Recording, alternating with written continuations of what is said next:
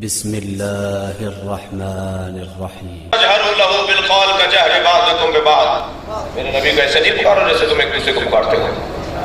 محمد کہہ کے آواز نہیں لگاؤ۔ حضرت بولو، یا لگاؤ۔ ادب احترام سے بات کرو۔ جی تعظیم کے جملے کہو۔ لا تجہر له بالقول۔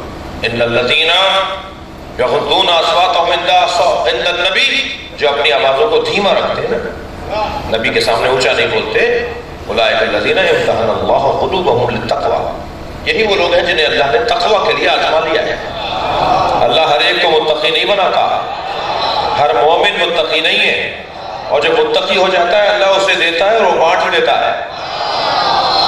سورہ بقرہ کی پہلی آیت ہے۔ مما رزقناہم ينفقون۔ ہم صاحبان تقوی کو دیتے ہیں اور وہ بانٹ دیتے ہیں۔ تبھی تو ہم ان مزاروں پہ جا کے مانگتے ہیں۔ یہ متقیوں کے مزارات ہیں۔ اور متقی کو اللہ کہہ رہا ہے، میں دیتا ہوں اور وہ بانٹ دیتا ہے۔ جو نبی کا ادب کرے گا، جو نبی کی تعظیم کرے گا، وہ متقی ہو سکتا ہے۔ اور جو متقی ہو جائے گا، وہ اللہ کی جانب سے نمائندہ بنے گا۔ لہذا جو متقی ہونا، ان سے جا کے دعاؤں کا کہا کرے گا۔ جو نمازی پرہیزی، عبادت گزار، چہرے پہ داڑھی پیشانی پہ سجدے کا نشان جی بابوزو رہنے والے، جھوٹ نہ بولنے والے گناہوں سے بچنے والے ہیں۔ ان لوگوں کا ادب کیا کریں اور ان سے کہا کریں کہ ہمارے لیے دعا کریں۔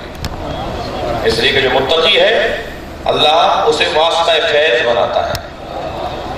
اللہ اپنی طرف سے اسے عطا کرتا ہے اور وہ بانٹ دیتا ہے۔ یعنی قرآن کی روح سے متقیوں کو اللہ دیتا ہے اور متقی بانٹ دیتے ہیں۔ امام المتقی کا کیا مقام ہوگا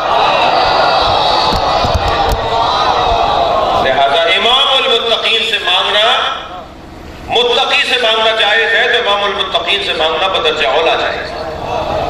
توجہ کر لی۔ اگر آپ ہمارے لیٹسٹ ویڈیوز کے بارے میں جاننا چاہتے ہیں، تو ہمارے چینل کو سبسکرائب کریں اور بیل آئیکن کو پریس کریں۔ شکریہ۔